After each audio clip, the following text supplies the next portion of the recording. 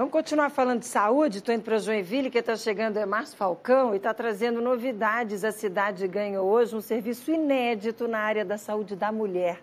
Fala, Falcão. Muito boa noite para você.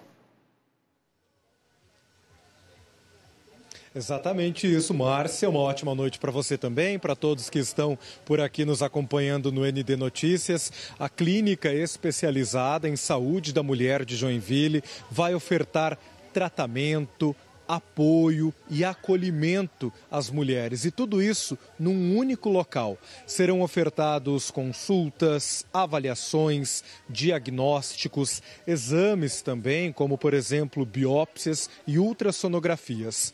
A equipe que vai atender por lá é multidisciplinar e conta com cinco mastologistas e três patologistas de colo uterino. O primeiro atendimento, a atenção mulherada, continua sendo nas unidades básicas de saúde. E aí, lá no atendimento na unidade básica de saúde, se for identificado algum sinal, algum alerta, aí sim o médico vai encaminhar para essa clínica especializada aqui em Joinville. Ao todo, são é, 418 metros quadrados de área construída, que abrigam aí 10 consultórios, salas de atendimento, além de um auditório. A clínica funciona no mesmo prédio da Policlínica Boa Vista. A construção do local custou cerca de 600 mil reais aos cofres públicos municipais. Antes de encerrar, Márcia, uma última informação.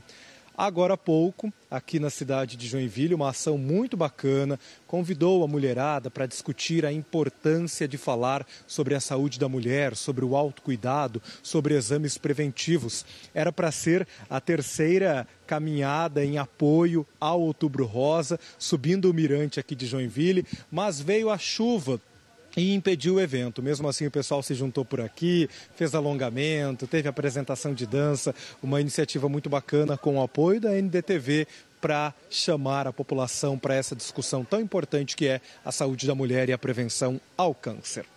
Volto com você aí no estúdio, Márcia. Sempre importantíssimo falar sobre a saúde da mulher. Coisa boa. Valeu, Falcão. Obrigada pelas suas informações. Bom final de semana. Até segunda-feira.